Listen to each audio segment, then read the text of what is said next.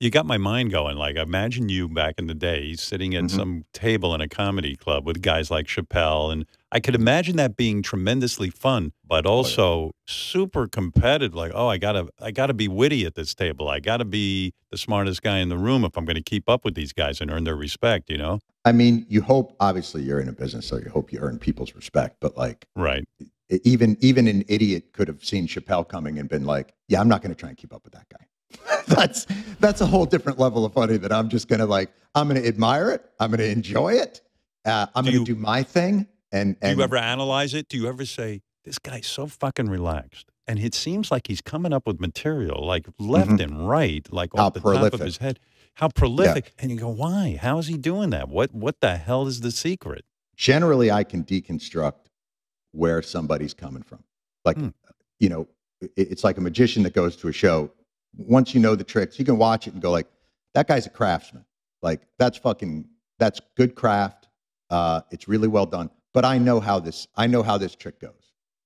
But there are certain people that come in and you just go, touched by God. That's just that's just different. That's I can't give you a roadmap to that because I'm not sure how he got there.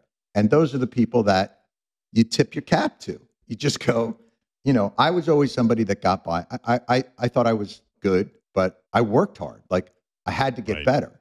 And then this is not to say that brilliant people don't work hard, but there were certain people where you just go, your brain's different. It's kind of a magical thing. I'm glad you're here because I appreciate it. I love I love watching Miles Davis as much as the next guy, but I don't know where that's coming from. Were you the type of guy like Jerry Seinfeld who would write every day, like sit there No. and write on a pad every day?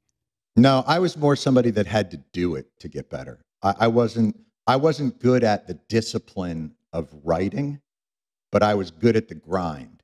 Like I could go out and do like Attell was like that too. Like we could grind it.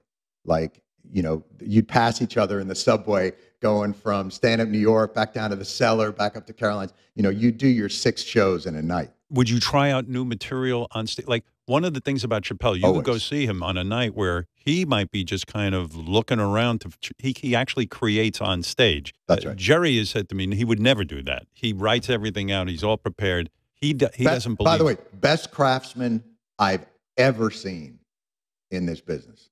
Best. Like he- Jerry. He, yeah, here's someone that you wouldn't necessarily think that of, but like Seinfeld and Carlin have a lot in common in that they are very different Prepared. acts, but master craftsmen, and it's exactly right, fucking prepared. They are so meticulous. That was the thing about Carlin that was so impressive to me, and I was lucky enough to get to know him a little bit. Was his level of preparation was second to none. And Seinfeld's the only other guy that I've ever seen that has that same level of ability to do that. Like it's it's remarkable to me.